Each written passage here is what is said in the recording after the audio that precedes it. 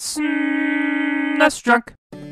Hello, and thanks for stopping by the SNES Drunk channel, a resource for all things Super Nintendo and Super Famicom. Here you can find a few different types of videos. You'll see Is This Game Worth Playing Today, where I take a look at a particular game and see how it's held up over time. And that could be a game for Super Nintendo, duh, but also Sega Genesis, Game Boy, NES, and various other platforms. Of course, there's many great games out there that don't need any kind of explanation from some random guy on the internet, stuff like Chrono Trigger, Mega Man X, Super Metroid, and the like. So for those games, I have videos titled Why the Hype, which go over why those games are held in such high regard. There's also plenty of content going over Super Nintendo games that never left Japan, detailing which games are still playable even without knowing Japanese, and which games are worth the trouble of using an English language patch. Of course, there's plenty of lists here as well, everything from the 13 hardest Super Nintendo games, the 13 best games to add to your SNES Classic, the best SNES multiplayer games, and there's also genre videos where I talk about every single game in a genre in one video and go over which ones are worth playing and which are not. And that's for everything from shoot 'em ups to action RPGs to sports games.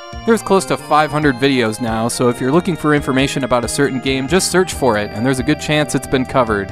And I want to thank you for stopping by, and I hope you have a great rest of your day.